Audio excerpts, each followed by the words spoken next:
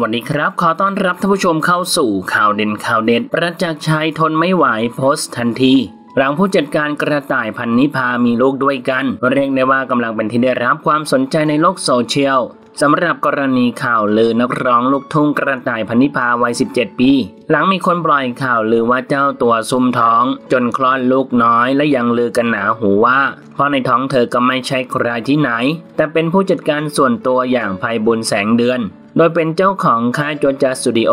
ซึ่งเป็นสังกัดของกระต่ายพรรณนิภาในปัจจุบัน จนในที่สุดทั้งคู่ก็ได้ออกมาตั้งโต๊ะแถลงข่าวว่าทั้งคู่มีลูกด้วยกันจริง โดยได้ตั้งชื่อลูกชายหัวแก้วหัวแหวนว่าน้องเพลินเพลงพินแสงเดือน ล่าสุดประจักษ์ชัยไหทองคำนั้นก็ได้โพสต์เฟซบุ๊กส่วนตัว หลังถูกทีมข่าวหลายสำนักติดต่อถามความเห็นเรื่องราวดังกล่าว ซึ่งงานนี้ประจักษ์ชัยก็ไม่หาเฮาใส่หัวปมผู้จัดการกระต่ายพันนิพาสารสัมพันธ์ โดยประจักษ์ชัยได้ออกมาโพสต์ระบุข้อความว่า ขอพระนคุณสำนักข่าวหลาย ๆ ช่องโทรมาขอสัมภาษณ์ ขอความคิดเห็นเกี่ยวกับประเด็นนายห้างนักร้อง ผมขออภัยในความไม่สะดวก เพราะพูดไปเนื้อไม่กินหนังไม่ได้รองนั่ง ทุกฝ่ายมี FC